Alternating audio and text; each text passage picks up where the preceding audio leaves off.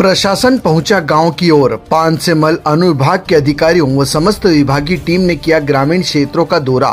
खेतिया।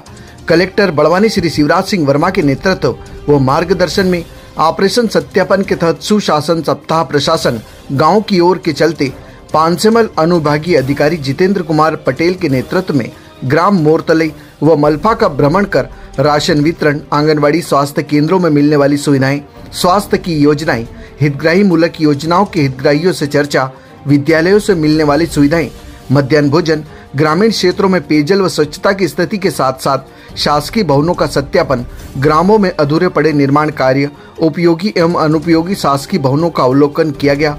अनुभागीय अधिकारी श्री पटेल ने पेदली ग्रामों का भ्रमण कर ग्रामीणों से चर्चा की। ग्रामीणों से उनकी उप समस्याओं को भी जाना उन्होंने ग्रामीणों को स्वच्छता हेतु प्रेरित करते हुए स्वच्छ ग्राम बनाने हेतु प्रेरित किया। वहीं आसपास फैली गंदगी को लेकर पंचायत सचिवों को भी आवश्यक दिशा निर्देश दिए। साथ ही अनुपयोगी भवनों के संबंध में जानकारी एकत्रित कर कार्रवाई की बात कही। राशन दुकानों पर नियमित राशन बंटते दिखाई दिया। साथ ही ग्रामीण जनों ने कुछ सुझाव भी अधिकारी की टीमों को दिए। वहीं सुशासन अभियान के तहत अनुभागीय अधिकारी श्री पटेल के नेतृत्व में संपूर्ण पानसेमल ब्लॉक की विभाग की टीम साथ चलती दिखाई दी।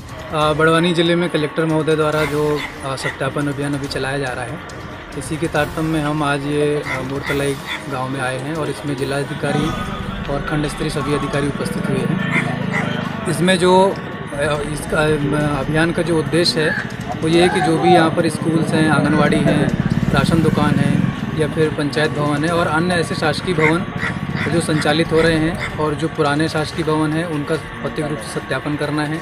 जो योजनाएँ चल रही हैं, उनका भी सत्यापन है कि उनको योजनाओं का जो हितग्राही है, उनको लाभ मिल रहा है या नहीं मिल रहा है।